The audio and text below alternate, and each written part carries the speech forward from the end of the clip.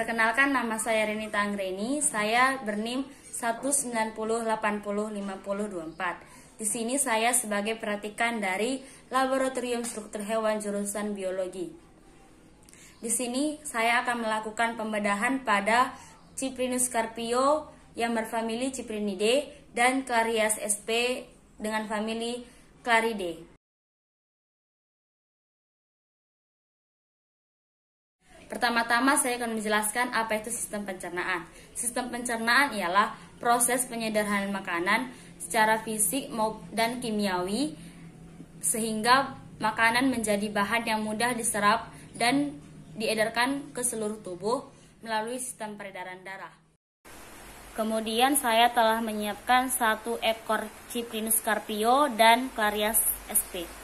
Pembedah Ciprinus carpio kita memulainya dari anusnya atau kloaka.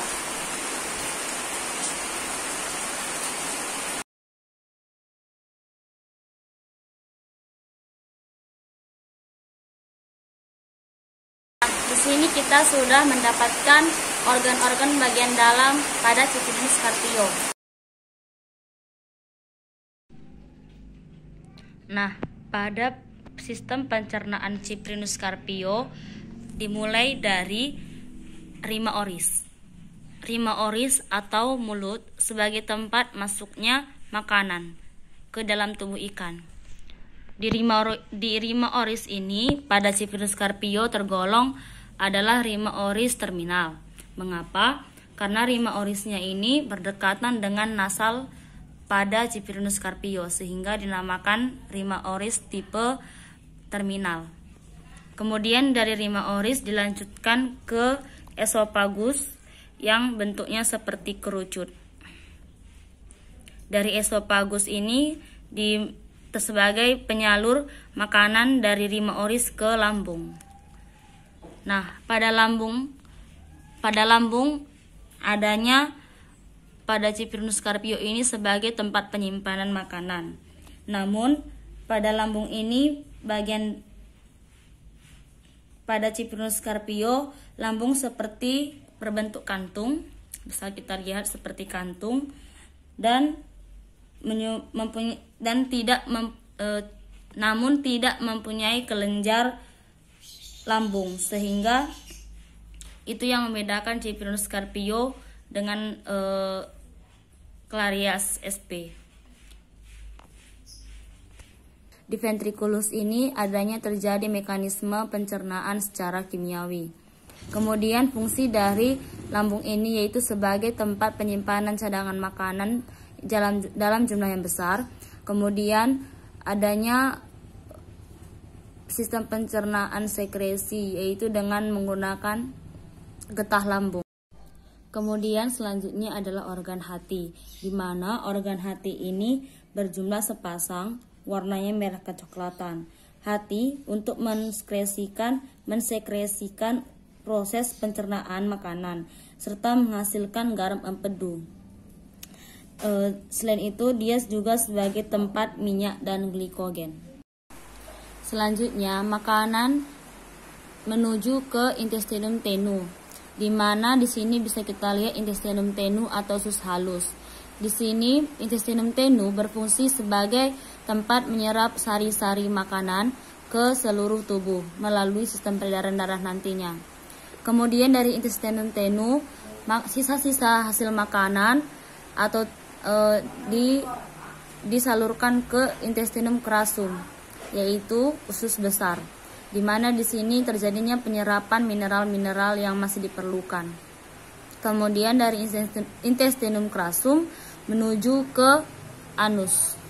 Di mana di sini anusnya menu, e, sebagai tempat feses atau sisa-sisa hasil dari makanan. Kemudian dari feses itu kemudian menuju ke kloaka. Nah, pada Ciprinus carpio ini termasuk hewan atau ikan pemakan tumbuhan dan daging.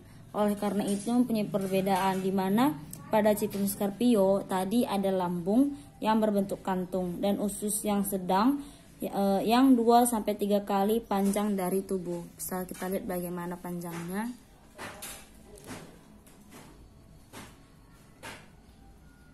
Kita bandingkan dengan Clarias sp atau lele yang berfamili Claridae.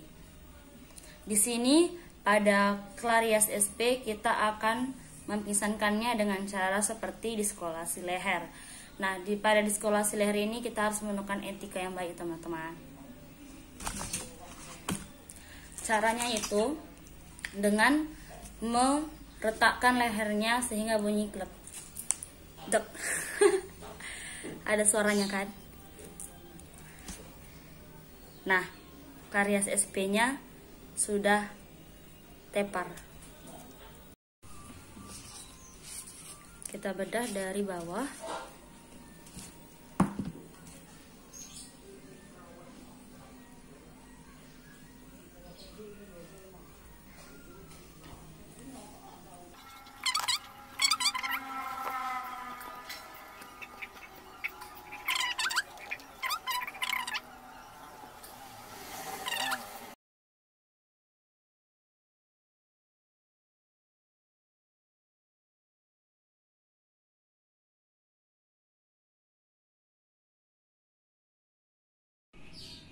Nah, pada Clarias SP eh, makanan masuk ke dalam rima oris ya.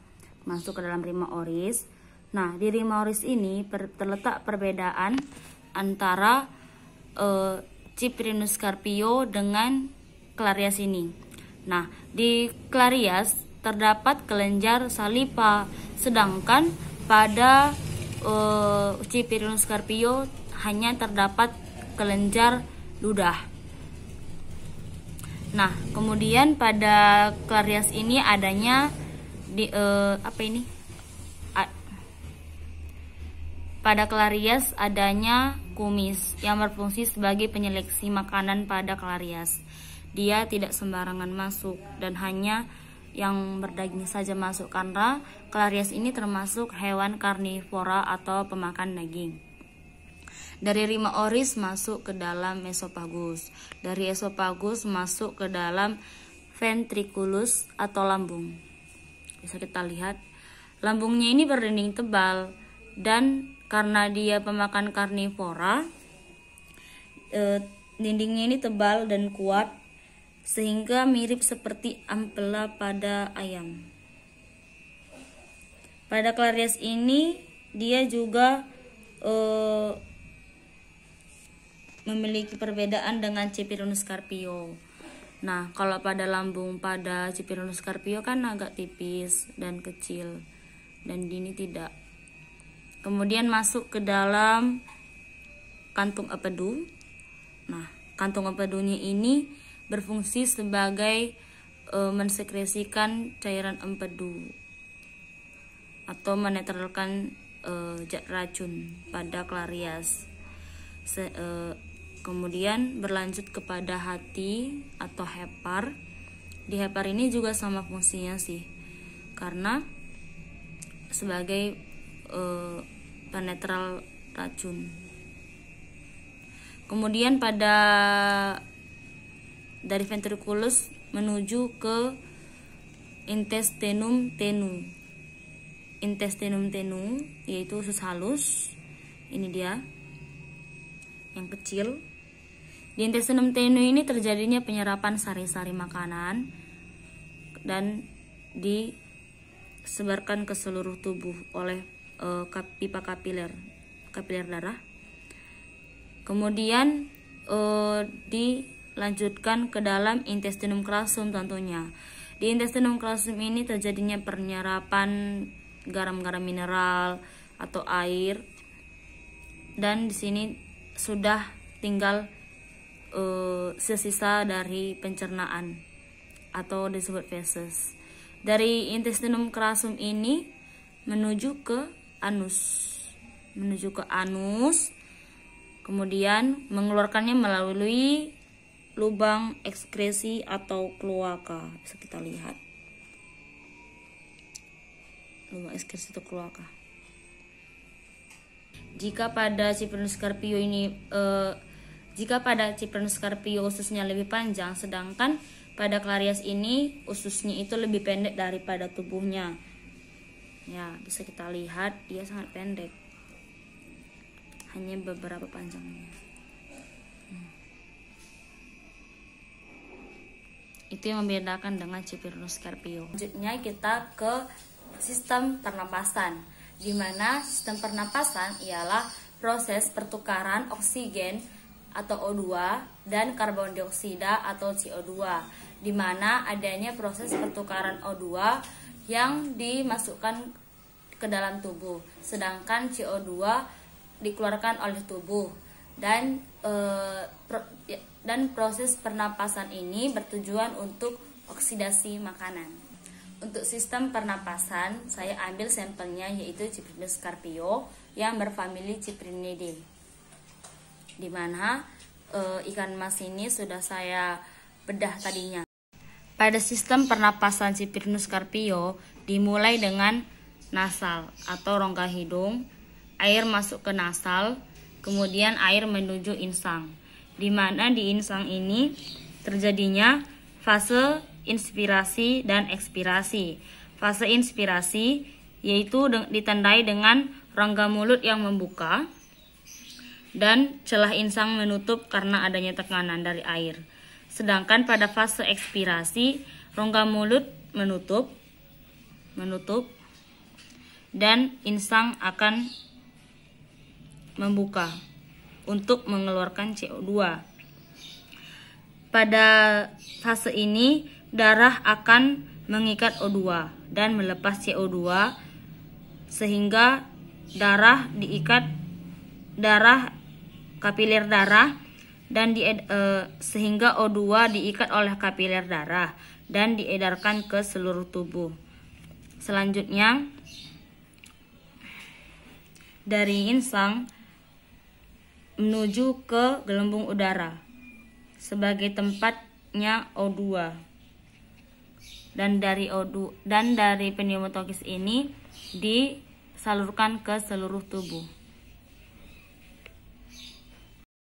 Adanya fase inspirasi dan fase ekspirasi. Pada fase inspirasi, rongga mulut akan membesar dan insang akan menutup. Kemudian pada fase ekspirasi, rongga mulut akan menutup insang akan membuka untuk mengeluarkan CO2. Kemudian darah yang akan kaya O2 akan melepas CO2. Kemudian dari insang ini O2 akan menuju ke pneumatokis yaitu gelembung udara yang berfungsi sebagai tempat penyimpanan O2 pada Citrinus carpio dan dari O2 dan dari e, pneumatokis ini akan diedarkan ke seluruh tubuh pada Cipirus carpio sehingga e, terjadi respirasi secara terus-menerus. Nah, selanjutnya kita bandingkan dengan sistem pernapasan Clarias SP. Pada Clarias SP, dia termasuk ikan paru-paru atau dipnoid. Dipnoid ini dia mempunyai sistem pernapasan dimulai dari rima oris, kemudian dari kemudian ke insang. Sat, eh, dia juga mempunyai satu gelembung udara yang membantu pernapasannya yaitu disebut pulmosis. Di pulmosis ini dikelilingi oleh banyak pembuluh darah dan menuju ke ductus pneumatokis kemudian e, terjadi sebaliknya lagi sehingga memungkinkan terjadinya difusi e, udara ke kapiler darah ikan ini kan hidup di rawa-rawa atau sungai sehingga dia ini membedakan dengan Ciprinus carpio. Jika Ciprinus carpio hidup di air tawar, Sedangkan Clarias sp hidup di rawa-rawa atau daerah yang agak kering, sehingga dia mempunyai labirin di mana insang dia mempunyai insang yang membentuk lipatan-lipatan. Nah, kan ada lipatan-lipatan sehingga uh, labirin ini sebagai alat bantu pernapasannya ketika dia kekurangan O2. Nah, sebagai tempat penyimpanan O2, dia bisa memakai O2-nya itu di labirin. Labirin itu e, perluasan ke atas di mana e, rongga insang tadi dan mem,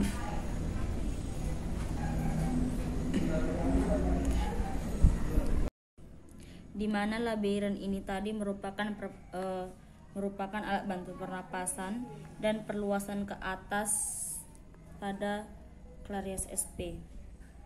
Sehingga itu yang membuatkan dia beda dengan Ciprinus carpio karena dia mempunyai labirin. Sekian dari penjelasan tentang sistem pencernaan dan sistem pernapasan yang saya lakukan dengan sampel tadi yaitu Ciprinus, Ciprinus carpio dengan famili Ciprinidae dan Clarias sp dengan famili Cranidae. Lebih kurangnya saya meminta maaf bila ada kesalahan dalam berkata-kata dalam video ini dan terima kasih kepada asisten laboratorium struktur hewan yang telah memberikan pengaj eh, pengajaran dan pengarahan kepada uh, saya. Saya ucapkan terima kasih.